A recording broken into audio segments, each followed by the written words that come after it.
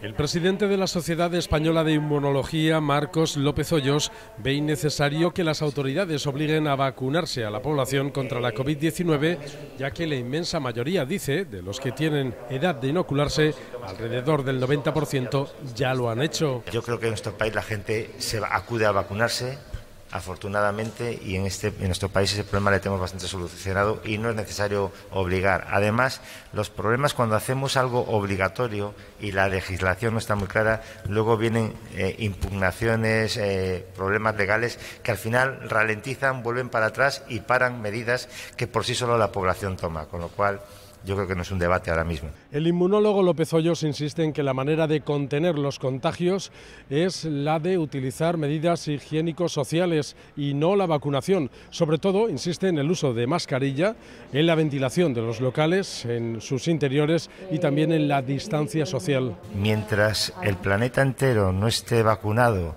de forma masiva, porque estamos en una situación de pandemia y la pandemia afecta a todo el planeta, tenemos un problema. Pueden aparecer variantes.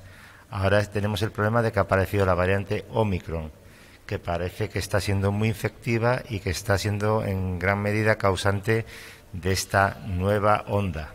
Este experto cree que si se aprobase la obligatoriedad de vacunarse se podría conseguir un efecto contrario por la presentación de posibles recursos legales que podrían incluso frenar el ritmo de vacunación actual.